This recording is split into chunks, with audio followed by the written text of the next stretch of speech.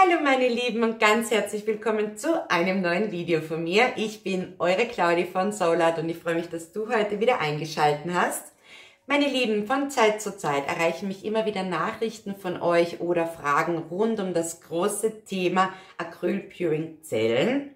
Aus diesem Grund möchte ich heute mit euch ein ganz einfaches Zellenbild kreieren und ich verspreche dir, wenn du bis dato Probleme hattest, Zellen zu schaffen, ändert sich das am Ende des heutigen Videos. Legen wir direkt los. Okay, meine Lieben, vor mir liegt eine 30 x 30 cm große Leinwand. Ich habe mich heute für eine 3D-Leinwand entschieden. Das ist allerdings keine Voraussetzung. Die 3D-Leinwände sind ein bisschen dicker und ein bisschen höher. Es ist allerdings natürlich keine Voraussetzung, dass ihr so eine Leinwand benutzt.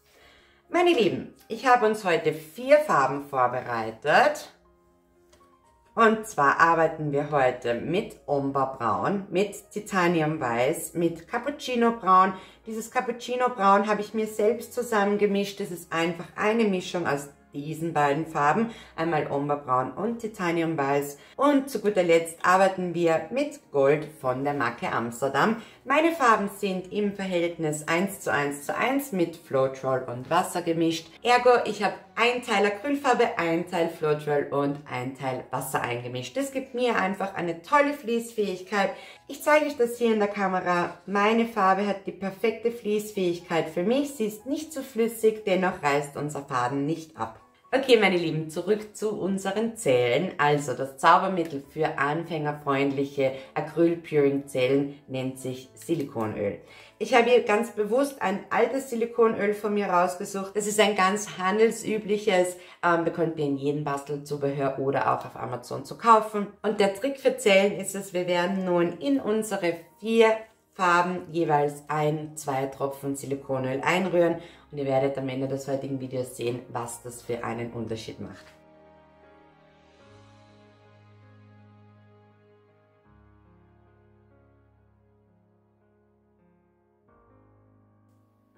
Ich habe mich dafür entschieden, jeweils zwei Tropfen Silikonöl zu meiner Farbe hinzuzufügen.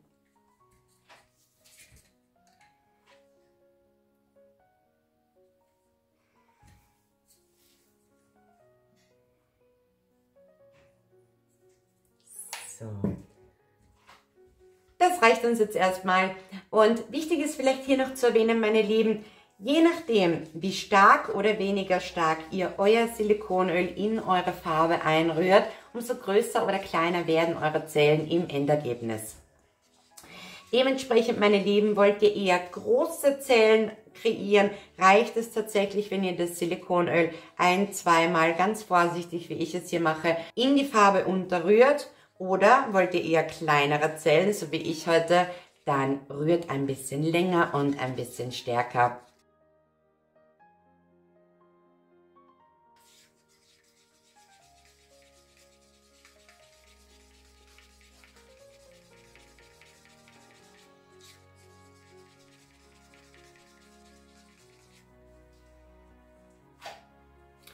Auch hier mein Titanium Weiß ist mit zwei Tropfen Silikonöl versehen und ihr könnt sehen, ich rühre mein Silikonöl ein bisschen stärker ein. Dementsprechend werden wir später beim Endergebnis wahrscheinlich mittelgroße Zellen bekommen. Aber als kleine Faustregel könnt ihr euch merken, je länger ihr einrührt, umso kleiner werden eure Zellen.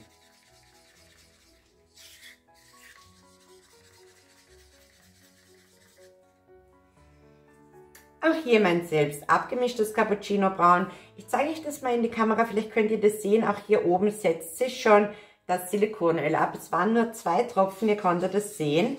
Und auch dieses möchte ich jetzt stark in meine Farbe einrühren.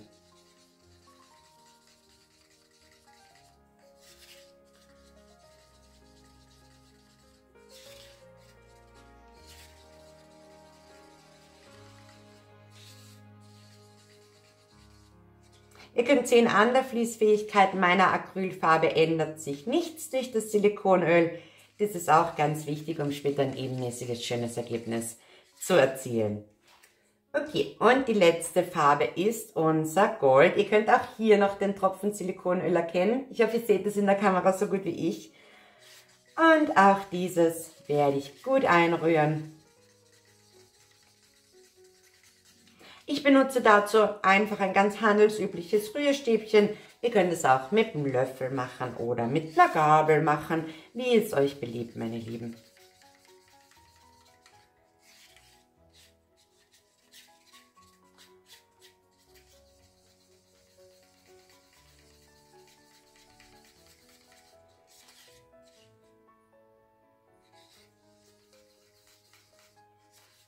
Auch an dieser Stelle könnt ihr sehen, die Fließfähigkeit meiner Farbe ist immer noch sehr gut.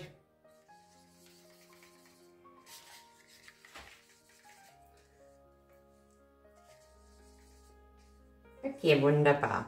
Die Rührstäbchen brauchen wir an dieser Stelle nicht mehr. Die werde ich ganz schnell entfernen. Und schaut mal, meine Lieben, ich weiß nicht, ob ihr das in der Kamera so gut erkennt, aber selbst hier auf unserem Rührstäbchen zeichnet sich schon die erste Form der Zelle ab. Okay, meine Lieben, ich möchte einen Flip Cup mit euch machen. Dadurch, dass unsere Leinwand heute sehr kompakt ist, reicht uns auf jeden Fall ein Becher. Meine hat hier ein Fassungsvermögen von 250 Milliliter. Soweit, so gut. Flip Cup habe ich euch schon ein paar Mal gezeigt. Ich beginne nun nach und nach meine Farben im Becher zu schichten. Ich beginne mit Omba Braun. Anschließend mein Titanium Weiß, gefolgt von meinem Cappuccino Braun. Und was natürlich nicht fehlen darf in einem Solat-Video ist mein über alles geliebtes Gold. Ihr könnt sehen, wir sind relativ in einer Farbfamilie geblieben heute. Auch das ist natürlich keine Voraussetzung, meine Lieben. Ähm, nehmt eure Lieblingsfarben. Ihr könnt Regenbogenfarben benutzen oder in Blautönen oder Rottönen euch halten. Das sieht alles toll aus.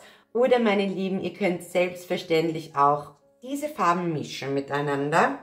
Das alles gibt ein einzigartiges Ergebnis. Sieht jedes Mal anders aus.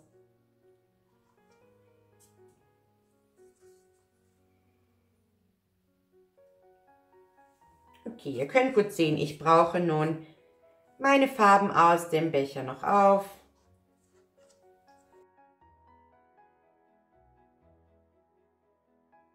Ich möchte trotz unserer kleinen Leinwand sicherstellen, dass ich genug Farbe habe, um alle Ecken und Kanten und Ränder zu bedecken.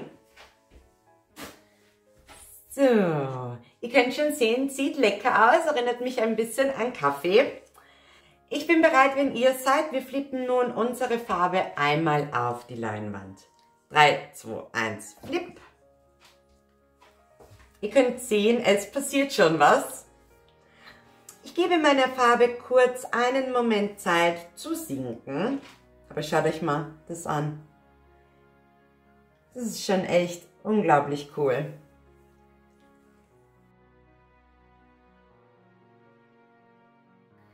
Mit einer kreisenden Bewegung ziehe ich nun den Becher ab. Und hier passiert schon ein Spektakel.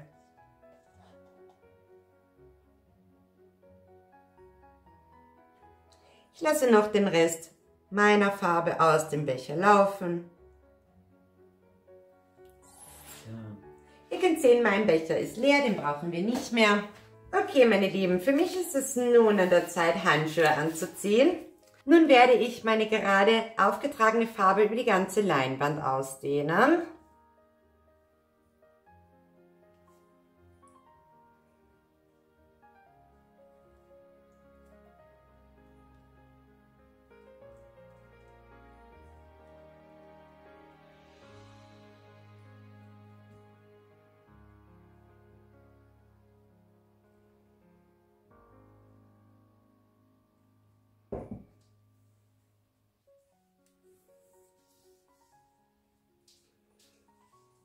Ebenso werde ich gleich sicherstellen, dass meine Ecken und Ränder und Kanten mit Farbe bedeckt sind.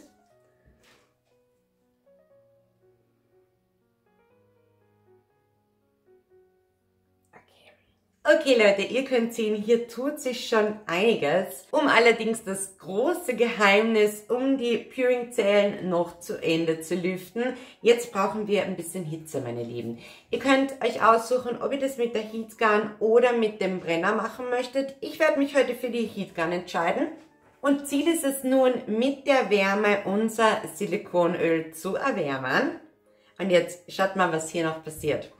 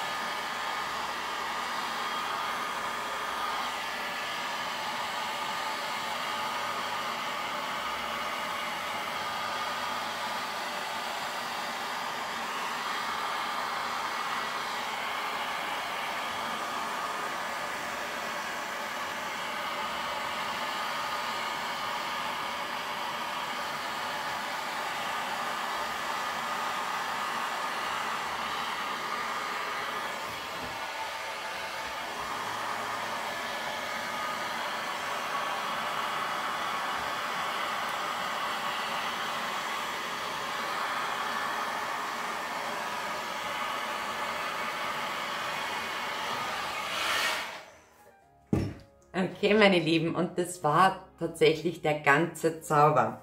Ihr könnt sehen, gerade in diesem Sektor, finde ich, kam das wirklich gut zur Geltung.